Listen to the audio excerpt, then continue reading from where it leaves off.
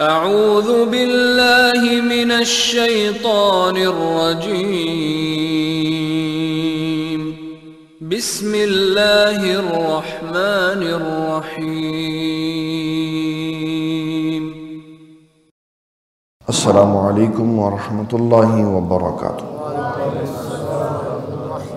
سلسلہ وار درس قرآن مجید میں صورت المرسلات کی صورت الدہر کی آیت نمبر ستائیس، اٹھائیس اور انتیس آج تلاوت کی گئی۔ ان کا ترجمہ اس طرح ہے، انہا اولا یحبون العاجلہ۔ بے شک یہ لوگ، ان لوگوں سے مراد کفار مکہ ہے یحبون العاجلہ، یہ محبت کرتے ہیں اپنے وقتی نفع کو۔ محبوب رکھتے ہیں۔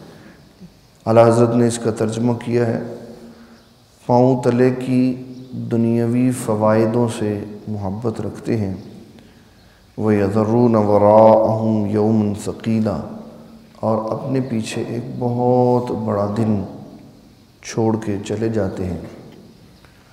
نحن خلقناہم و شددنا اسرہم ہم نے انہیں پیدا کیا اور ہم ان کے جوڑ اور تعلق مضبوط کرتے ہیں۔ وہ اذا شئنا بدلنا امثالہم تبدیلا اور اگر ہم چاہیں تو ان جیسے اور لے آئیں۔ ان نحاظ ہی تذکرہ بے شک یہ نصیحت ہے۔ فمن شاء تخذ الى رب ہی سبیلا تو جو چاہے اپنے رب کی طرف راہ لے لے۔ آیت نمبر ستائیس میں کفار مکہ کے بارے میں فرمایا کہ یہ قیامت کا خیال نہیں کرتے، بلکہ دنیاوی منافع کی طرف دوڑتے۔ معلومات اور فوائد اور عزت اور وقار جو ملتا ہے دنیا کا، اس کے پیچھے لگے ہوئے ہیں، اس کو عزیز رکھتے ہیں، اس کو محبوب رکھتے ہیں۔ اور ایک بہت بھاری دن جسے قیامت کا دن کہا گیا ہے، اس کو پیچھے چھوڑ دی۔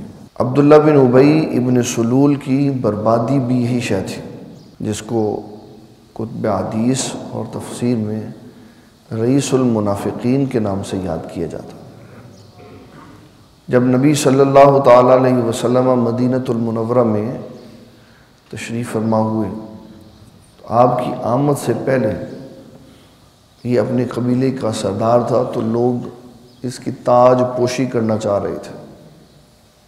جب حضور آ گئے تو پھر کس نے کس کی طرف دیکھنا تھا؟ لوگوں کی توجہ حضور صلی اللہ تعالیٰ علیہ وسلم کی طرف ہو، اس کو بھول گئے۔ تو اس بغض کے اندر کہ میری عزت و وقار کی گئی حالانکہ اگر یہ غور کرتا اور سمجھتا اور دیکھتا، تو جس عزت کی لالچ اس کو تھی، اللہ تعالیٰ نے اس سے ہزار گنا زیادہ عزت اس کو عطا فرمانی تھی۔ اگر یہ صحیح معنوں میں حضور صلی اللہ تعالیٰ علیہ وسلم پر ایمان لے آتا۔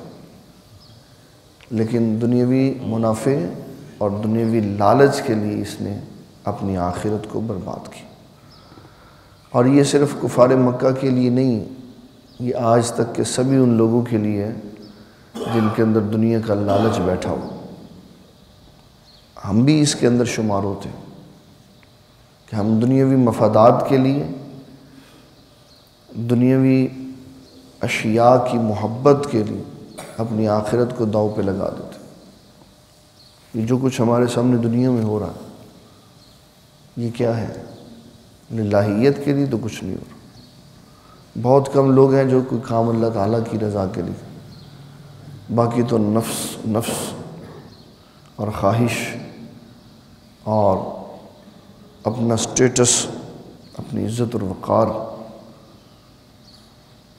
بے شمار ہمارے کام ایسے ہیں جو صرف ہمارے دنیاوی مقاصد کے لیے ہوتے اللہ کی رضا کے لیے نہیں ہوتے۔ اس سے ہمیں اجتناب کرنا چاہیے۔ اللہ تعالیٰ فرماتا ہے، نحن خلقنا ہو ہم نے انہیں پیدا کیا۔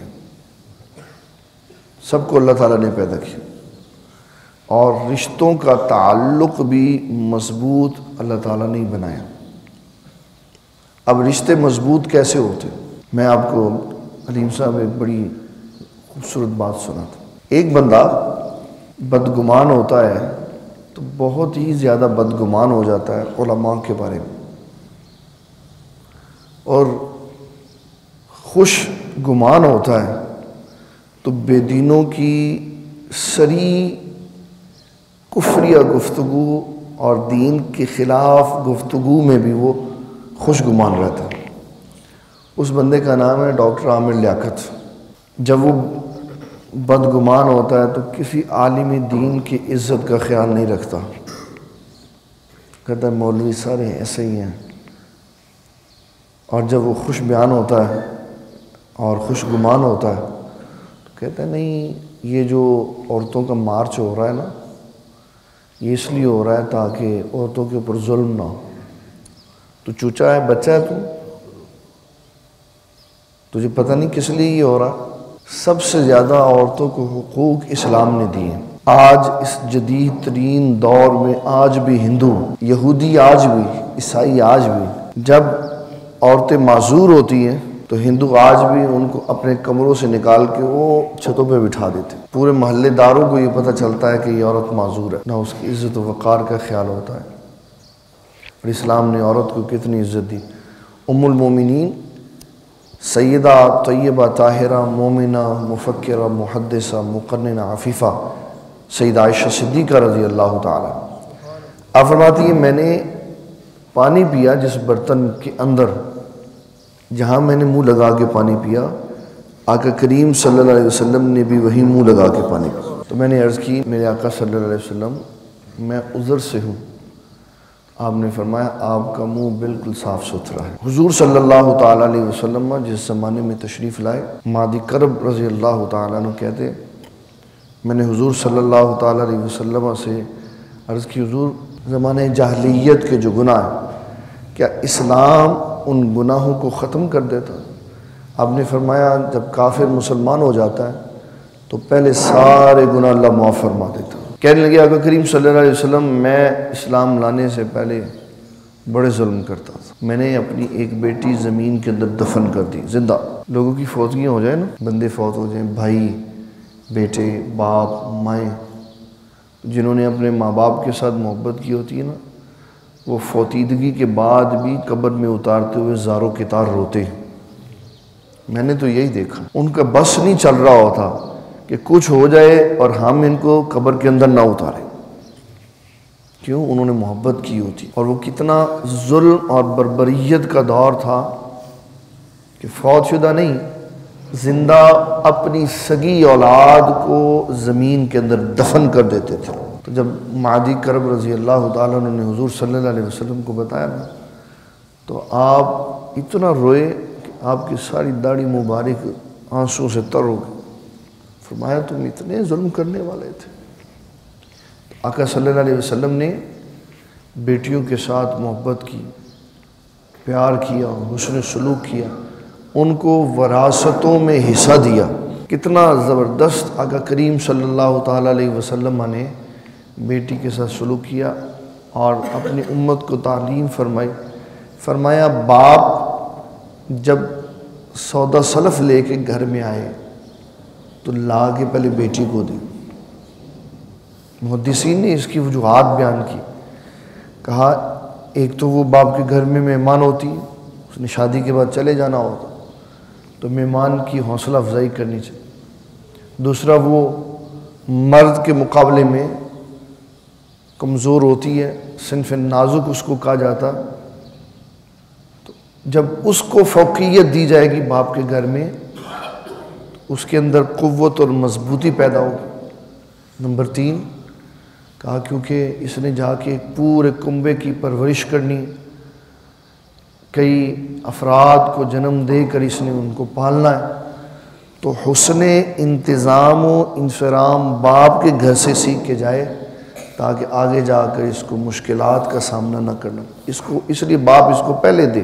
جن عورتوں کو معاشرہ ددکار چکا ہوا تھا، ان کے شوہروں کی وفات کے بعد بیٹوں کے جوان ہو جانے اور شوہروں کے مر جانے کی وجہ سے۔ جن عورتوں کو معاشرہ عورت ہونے کی وجہ سے ددکار چکا ہوا۔ اسلام نے ان ساری عورتوں کو عزتوں کے تاج عطا فرمائے۔ اور بتایا کہ نہ طلاق یافتہ بری عورت ہے، نہ بیوہ کو کوئی قصور ہے اور نہ بیٹیوں کو کوئی قصور ہے۔ یہ تو اللہ تعالیٰ کی رحمت ہے جو معاشرے کے لیے حسن انتظام و انسرام کے لیے اللہ نے ان کا وجود تخلیق فرمایا۔ لیکن آج ہم پھر بربادی کی طرف چلے گئے۔ اس نعرے کے اوپر میرا جسم میری مرضی، جو مرضی کرو۔ اور ہماری عدالتیں، ہمارے ججز اگر انہوں نے اسلام پڑھا ہوتا نا، اسلام، تو یہ کبھی عورتوں کو مارچ کرنے کی اجازت نہ دیتے۔ مارچ کرنے کا کوئی مقصد ہوتا۔ مارچ کرنے کا کچھ حقوق لینے مطلوب و مقصود ہوتے۔ ہیں لاہور سے اسلام آباد مارچ ہوا۔ کس لیے؟ ختم نبوت کی حفاظت کے لیے۔ اس مارچ کا مقصد تھا کہ ختم نبوت پہ ڈاکہ پڑ گیا اور اسمبلی میں بیٹھے ہوئے لوگ جنہوں نے آئین پاکستان کی حفاظت کا ذمہ لیا تھا، انہوں نے آئین پاکستان کے ساتھ غداری کی ہے۔ اب ہم مارچ کریں گے تاکہ آئین پاکستان کا تحفظ ہو سکے۔ اس مارچ کا مقصد۔ آٹھ مارچ، اس کو عالمی سطح پر خواتین کا دن کہہ کر منایا جاتا ہے۔ اور اس دن ہمارے پاکستان میں خواتین مارچ ہے۔ کیا چاہیے؟ کیا مطالبات ہیں؟ مطالبات تو بتاؤ نا۔ آپ نے روڈوں پہ نکلنا ہے اور مارچ کرنا ہے تو کیا مطالبات اسلام نے جتنی عزت عورت کو دی ہے نا، اس کی مثال صورت النور کے اندر بھری ہوئی ہے۔ اللہ تعالیٰ فرماتا ہے، جب تک جب تک عورت کی مرضی شامل نہ نہ ہو دنیا کا کوئی بندہ اس کو ہاتھ نہیں لگا سکتا۔ جو اصول اور عزت و وقار میں سخت کار عورتیں، ان سے لوگ بات کرنے کی بھی ضرورت نہیں کرتے۔ کیوں؟ اپنی عزتوں کی محافظ ہوتی ام المومین سعید عائشہ صدیقہ رضی اللہ تعالی عنہ کے دروازے پہ حضرت عثمان غنی بھی ایسے کر کے کھڑے ہوتے تھے۔ سیدہ فاطمت الزہرا رضی اللہ تعالی عنہ سے حضرت ابو بکر صدیق ایسے کر کے بات کرتے۔ اسلام نے عورتوں کی عزت بتائی۔ عورتوں کی عزت گھر کے اندر ہے۔ عورتوں کی عزت سڑکوں پہ آنے سے نہیں۔ اسلام نے عورتوں کے حقوق، ان کی عظمت و عفت اور ان کے معاملات کی ساری بھاگ دوڑ کا ذمہ دار اس سے ریلیونٹ افراد کو بنایا۔ اس کو کمانے کی اسلام نے ذمہ داری نہیں دی کہ کمانے کے لیے باہر جانا پڑتا ہے۔ اور زمانے کی مشکلات کو برداشت کرنا پڑتا ہے۔ اس کو کہا تو گھر رہ، بندے کی ڈیوٹی لگائی کہ لا کے کما کے اس کے ضروریات پوری کر۔ اور پھر اس کے بعد اسلام نے یہ بھی اجازت دے دی کہ اگر عورت خود بھی رزق حلال کمانا چاہے تو اس کو اجازت ہے۔ وہاں پر جہاں پر بے پردگی نہیں ہوتی۔ یہ جو نعرہ ہے نا، میرا جسم، میری مرضی، یہ بے دینی کا نعرہ ہے۔ یہ جسم تو ہمارے ہیں ہی نہیں، ہمارے ہیں۔ کیونکہ ہماری روحیں ان کے اندر ہیں۔ ہمارے جسموں کے اندر ہماری روحیں ہیں، اس لیے یہ ہمارے ہیں۔ اور ہم روحوں کی موجودگی میں اس جسم کے ساتھ جو کام کریں گے، قبر میں بھی اس سے حساب و کتاب ہوگا، حشر میں بھی اس سے حساب و کتاب ہوگا۔ اس اعتبار سے یہ ہمارے ہیں، لیکن یہ حکم میں اللہ تعالیٰ اور اس کے رسول صلی اللہ علیہ وسلم کے پابند ہیں۔ آپ آئے ہوئے ہیں نا مسجد میں۔ علیم صاحب، آپ مسجد میں تشریف لائے ہیں نا؟ گھر میں اتنے مزے سے سوئے ہوئے تھے۔ کیا ضرورت پڑی تھی مسجد میں آنے اللہ کی رضا کے لیے آئے نا۔ اس کا مطلب ہے میری نیند پہ میرے سے زیادہ حق میرے رب کا ہے۔ جب تک نماز کا وقت نہیں تھا، اس نے مجھے سوئے رہنے دیا۔ لیکن جو ہی اذان ہوئی تو فوری اذان کی آواز علام کی آواز کان میں آئی۔ اگرچہ میں بستر میں لیٹا اور سویا رہتا، لیکن احساس تھا کہ نماز نہیں نہ پڑھوں گا تو سزا ملے گی۔ تو میری مرضی کدھر گئی؟ میری مرضی تو یہ ہوتی کہ مجھے کوئی حکم دینے والا نہ ہوتا۔ مجھے کوئی میری مرضی کے خلاف اٹھانے والا نہ ہوتا۔ جس مرضی کو پوچھ لو، بڑے کو، چھوٹے کو، عالم کو طالب علم کو، جس کو مرضی پوچھ لو۔ وہ کہے گا، جبرن اٹھاؤ اٹھنے میں تکلیف ہوئی۔ اسی لیے انسان کو مکلف بنایا گیا کہ اسلام اللہ تعالیٰ کے احکامات کا پابند بناتا ہے۔ اس کو سردیوں میں، گرمیوں میں، بارشوں میں اس کو بستر سے اٹھا کے اللہ کی بارگاہ میں لے کے آتا ہے اور بتاتا ہے نہ یہ تیرا جسم ہے، نہ تیری مرضی ہے۔ یہ جسم بھی اللہ نے دیا، مرضی بھی اللہ ہی کی چلے۔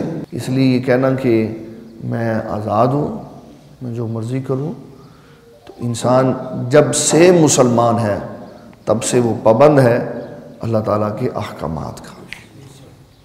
یہ پابندی جبری نہیں ہے، یہ پابندی فائدے کی ہے، اختیاری ہے۔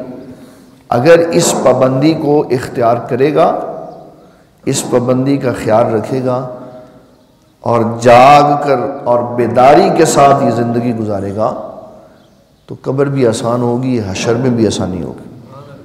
اور اگر مرضی کرے گا تو کر لے۔ یہ جو عورتیں آٹھ مارچ کو مارچ کرنے کے لیے بڑھ تشریف لا رہی ہیں نا، یہ ثبوت ہے اس بات کا کہ مدینہ کی ریاست کا سربراہ جو ہے وہ بے دین ہے۔ اگر وہ دیندار ہوتا، وہ جرت والا ہوتا، اس کے اختیار میں کچھ ہوتا۔ اس کی بیوی باپردہ ہے نا وزیر اعظم کی۔ اس کو لایا آٹھ مارچ کو باہر۔ اور اس کو کہ تو نعرہ لگا، کیونکہ تو خاتون اول ہے، میرا جسم، میری مرضی۔ وہ تو برقعے کے ساتھ بیٹھتی ہے اندر۔ اس کے اندر کیا ہے؟ اسلام نے ہمیں اس کے اوپر بات کرنے کی اجازت نہیں دی۔ اسلام نے احکامات ظاہر پر لگائے ہیں اور بات بھی ظاہر پہ کرنے کی اجازت دی۔ تو آٹھ مارچ کو جو خواتین کی ریلیاں نکلنی ہیں، ان کی قیادت خاتون اول کرے نا۔ کیونکہ جناب، آپ کیونکہ خاتون اول ہیں، میرا جسم میری مرضی ہے، تو آپ کا جسم بھی آپ کی مرضی ہے، تو آپ ان کی قیادت کریں۔ حضور صلی اللہ تعالیٰ علیہ وسلم کی صاحبزادی سیدہ فاطمۃ الزہرا رضی اللہ تعالیٰ عنہ، آپ کا جب وصال ہونے لگا نا آپ وصال سے پہلے بڑی غمگین تھی۔ تو حضرت ابو بکر صدیق رضی اللہ تعالیٰ عنہ کی بیوی اسما بنت عمیس وہ پاس تھی۔ تو کہنے لگی، سیدہ فاطمہ سے، آپ کیوں پریشان ہیں؟ تو آپ نے فرمایا، جب میرے جسم سے روح نکل جائے گی نا، تو میں پریشان اس لیے ہوں کہ جب کفن پہنا کر مجھے چارپائی کے اوپر لٹا کے لوگ کندھوں پہ اٹھا کے لے کے جائیں گے۔ اگرچہ میں کفن میں ہوں گی، اگرچہ میرے اوپر چادر بھی پڑی ہوگی، لیکن میرے جسم کی حیت بھی تو نظر آئے گی۔ میں اس لیے پریشان کہ لوگوں کی نگاہیں میرے جسم کی حیت پہ پڑیں۔ گی اسما بنت امیس کہنے لگی، سیدہ، آپ پریشان نہ ہو میرے پاس اس کا حل ہے۔ آپ نے فرمایا، کیا حل ہے؟ کہ میں جس علاقے سے آئی ہوں نا، وہاں جب لوگوں کو دفن کیا جاتا ہے تو ان کی چارپائیوں کے ساتھ لکڑی کے شتیر لگا کے اوپر سے اس کو بند کر دیا جاتا ہے اس کے اوپر چادر ڈالی جاتی ہے تاکہ چارپائی پہ پڑی ہوئی عورت کی حیت بھی کسی کو محسوس نہ ہو سکے۔ آپ نے فرمایا، مجھے بنا کر دکھاؤ۔ پھر جب اسما بنت امیس نے یہ سارا بنا کر دکھایا تو پھر آپ کو تسلی ہوئی، آپ کے چہرے کا رنگ درست ہوا۔ آپ نے فرمایا، اب ہماری روح آسانی سے قبض ہو سکتی۔ ان کو تو فوت ہوتے ہوئے بھی یہ خیال ہے کہ کسی کی نگاہ نہ میرے اوپر پڑ جائے۔ اور فقہ جعفریہ والے جو سیدہ کی پاک دامنی کے بڑے چرچے سناتے ہم سے زیادہ علیہ سنت سے زیادہ سیدہ فاطمہ تو زارہ سے کوئی محبت نہیں کر سکتا۔ ایک بھی بیان حضرت ابو بکر صدیق کے خلاف بیسیوں بیان انہوں نے دیے ہوئے۔ لیکن میرا میرا جسم میری مرضی پہ ایک بھی بیان نہیں دیا وہ۔ کیوں؟ ان کی عورتیں خود بھی پردہ نہیں کرتی۔ تو پردہ جو کرتا ہے وہی اس کو برا سمجھے گا نا۔ یہ جسم بھی ہمارے رب نے دیا ہوا ہے۔ اس کے اوپر احکامات بھی اللہ تعالیٰ کی نافذ ہوں۔ اگر انسان بیمار ہو جائے، اس کے پاؤں میں شوگر ہو جائے، جسم میں شوگر تھا، اس کے زخم پاؤں میں بننے شروع۔ ڈاکٹروں نے کہا جی اس کا ہم پیر کاٹ دیں۔ کاٹ دیا۔ پاؤں اس کا کاٹا، آج فوت ہوا وہ دس سال کے بعد۔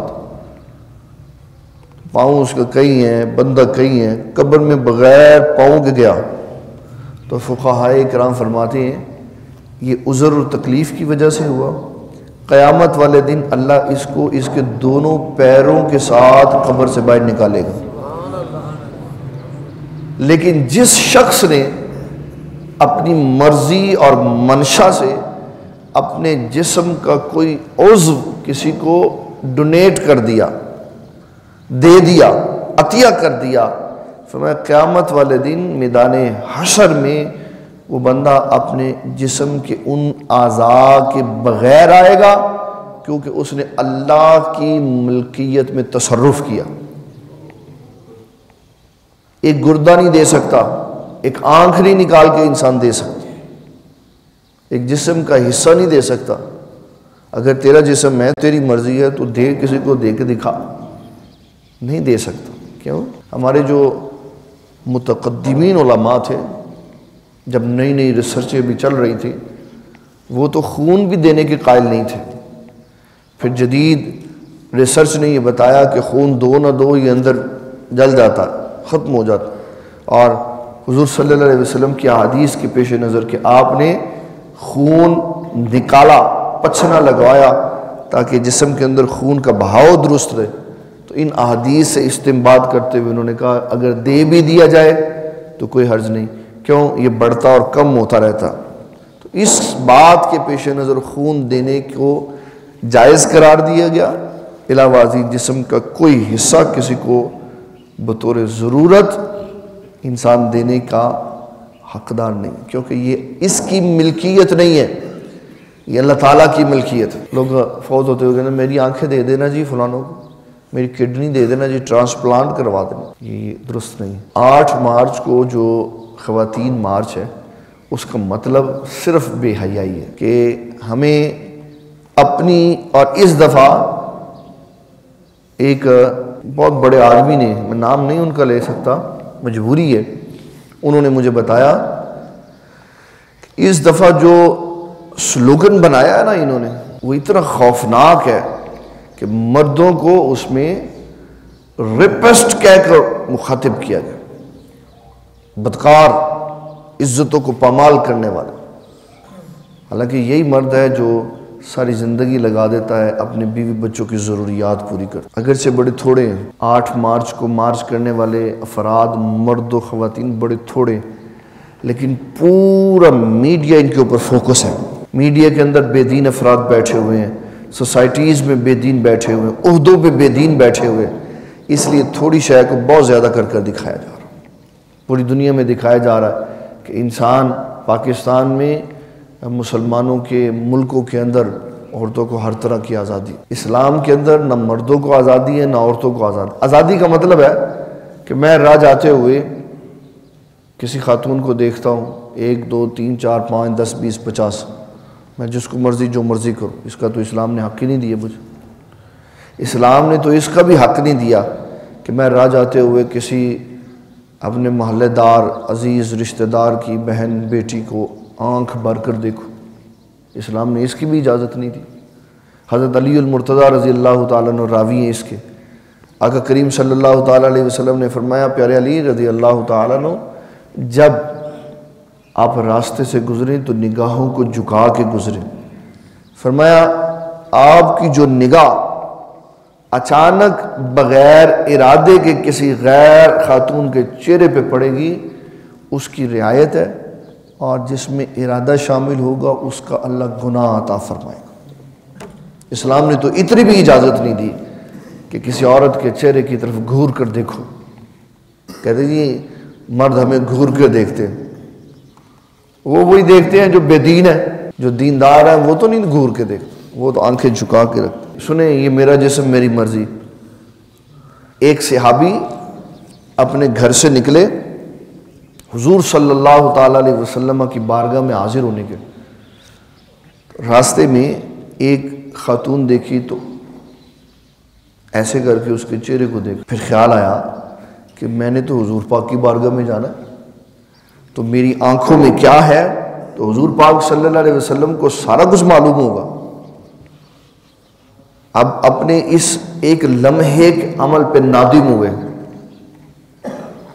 واپس نکلے اور مسجد میں جانے کی بجائے جنگل میں چلے ایک دن گزر گیا، دو دن گزر گئے، تیسرا دن ہوا۔ تو جبرائیل علیہ السلام آئے۔ کہہ لیں گے سرکار، وہ ایک آپ کا ساتھی جنگل میں کھڑا ہے، اس کی بھی خبر لے لیں آپ نے سیدنا عمر بن خطاب کو بھیجا کہ جاؤ، اس کو بلا کے لاؤ۔ جب انہوں نے حضرت عمر بن خطاب کو دیکھا، تو زاروں کے تار رو پڑے۔ کہنے گے یا اللہ، تین دن سے یہی تو کہہ رہا تھا کہ میرے اس معاملے کی خبر حضور صلی اللہ علیہ وسلم کو نہ دینا۔ ان کو نہ بتانا کہ میں نے اپنی آنکھوں کا استعمال کیسا کیا۔ تو حضرت سیدنا عمر بن خطاب رضی اللہ تعالیٰ عنہ فرمانے لگے، اللہ کے بندے، اللہ حضور صلی اللہ علیہ وسلم کو معاملات کی خبر دیتا ہے، لیکن تیرے سے جو معاملہ ہوا، اس کی اطلاع دی، لیکن اس جرم کو معاف کر دیا گیا۔ تو اتنے اتنے احتیاط پسند لوگ تھے۔ اپنی نگاہوں کی، اپنے جسموں کی، اپنے خیالات کی بھی حفاظت کرتے تھے۔ کہ کوئی برا خیال نہ تو یہ میرا جسم، میری مرضی، یہ اسلامی جملہ نہیں ہے۔ اسلامی جملہ نہیں ہے۔ اور ڈاکٹر صاحب کہتے ہیں اس کا مطلب یہ ہے، میرا جسم، میری مرضی، اس کا معنی یہ ہے۔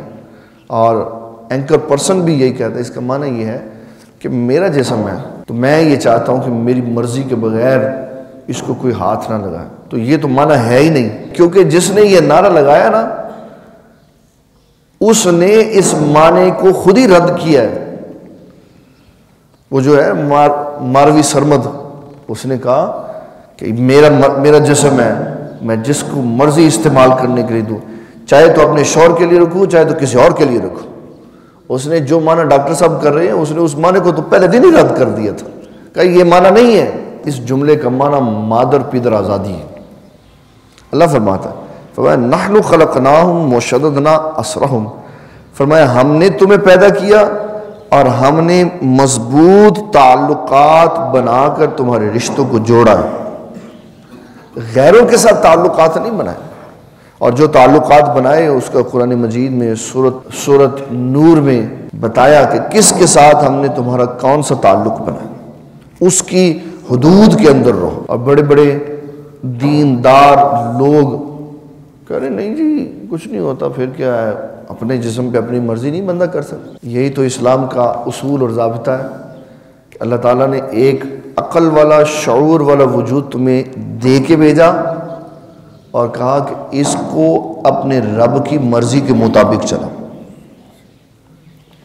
جانوروں کو عقل نہیں دی، ان کو قوت اور زور دی تو وہ جانور رہ گئے۔ فرشتوں کو خواہشات نفسانی نہیں دی، ان کو فرشتے بنایا اور انسانوں کو عقل بھی دی، خواہشات نفسانی بھی دی۔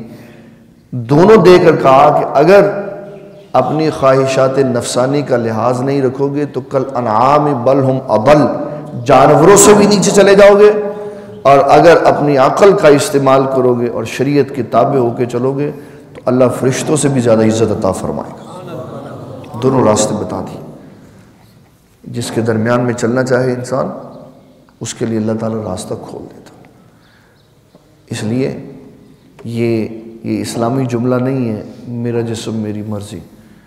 یہ جسم ہمارے رب کی ملکیت ہے اور ان کے اوپر مرضی بھی اللہ تعالیٰ جل مجد الکریم اور اس کے حبیب کریم صلی اللہ تعالیٰ علیہ وسلم یہ آیت انشاءاللہ ہم اس کو دوبارہ کل ڈسکس کریں گے کہ اللہ تعالیٰ نے اس کے اندر کیا مشرقین مکہ کو احکامات ارشاد فرمائے۔ اللہ تعالیٰ ہماری حاضری قبول منظور فرمائے اور ہمارے ان جسموں کو اللہ تعالیٰ کے احکامات کے تابع کرے تاکہ ہماری دنیا بھی سورے ہماری آخرت بھی سورے اور میرے پاکستان کے وہ افراد جو چند مفادات کی وجہ سے اور وہ عہدے داران جن کو مقتدر ادارے کہا جاتا ہے جن کی ڈیوٹیز ہیں اسلام کے اس عظیم قلعہ کے اصول و فرو کی حفاظت کی، جب وہ اس طرح کے فتنے پیدا ہوتے دیکھے تو وہ ان کا سر کچلیں تاکہ اسلام کی عمارت مضبوط رہے۔ اللہ تعالیٰ ان سب کو توفیق عطا فرمائے۔ وما علینا الا البلاغ المبین